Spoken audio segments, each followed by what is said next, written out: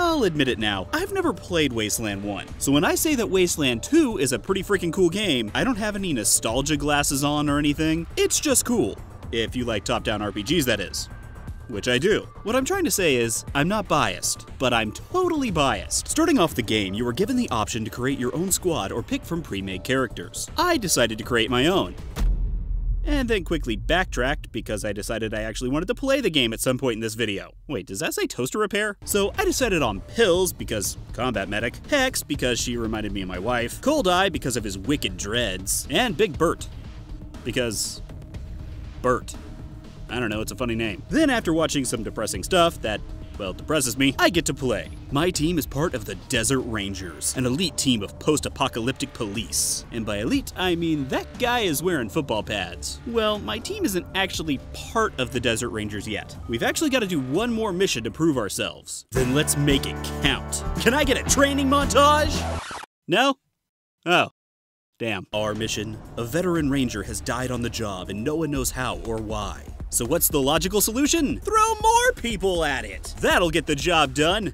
Or perhaps get more people killed, but whatevs. So off we go in this travel by map view to some radio towers where we get attacked by raiders. Time for some combat. Wasteland 2 sports a cool tactical turn-based combat system that reminds me a lot of XCOM which I loved. So yeah, I'm all aboard with this. Each character has a number of action points to spend every round. Every action, such as moving, attacking, kneeling, or setting up an ambush, takes action points. So combat is all about spending your points wisely to make sure your team has the best position for attacking, defending, and defeating the enemy. And I love it! Except for one small, tiny, itsy weensy little thing. I suck at this game. I kept running out of ammo. Maybe I just need to learn to play better?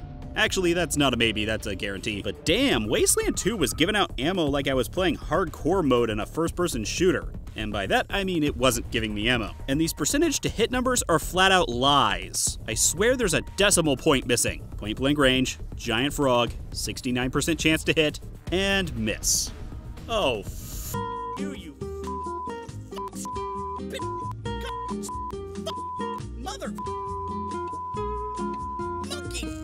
So the first part of this mission had me collect a whole bunch of items that the previous ranger lost while he was busy dying, and when I finally finished, I was a bit low on ammo and wanted to go buy some. Nope. The game wants me to go to two areas to finish the Dead Ranger's mission. Fine, I figured maybe they'll have some ammo. I wasn't super low at this point anyway, just a bit below my comfort level. Or at least that was the case before the raider attack, and then the radio calls telling me my two destinations were under attack by raiders and killer plants. Yeah. At this point, I'm super low on ammo, have two different people yelling at me to save them, and I'm not even a real desert ranger.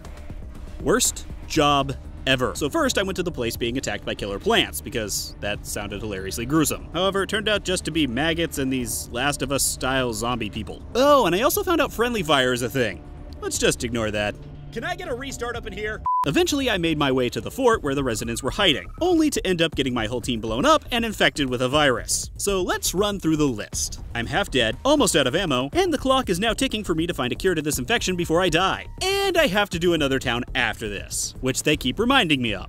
We are still under attack! Yeah, I got it! So it turns out I have to collect spores from the plants that blew me up, so the scientist here can research a cure to the infection. And by this point, I'm out of ammo. You know what? I'm restarting. Despite the anger I felt while playing the game as the stakes kept rising and rising, I was enjoying myself. I think the fact that I had to make choices and had limited resources made it all that much more interesting. I had an invested emotion in the game at this point already, which is what was making me angry as things kept going wrong. I guess what it comes down to is, I'm gonna have to learn how to play this game I don't want to learn. Hey everyone, thanks for watching. Make sure to visit MMORPG.com for all of your MMO related news. And if you like this video, make sure to visit my YouTube channel for more silly videos.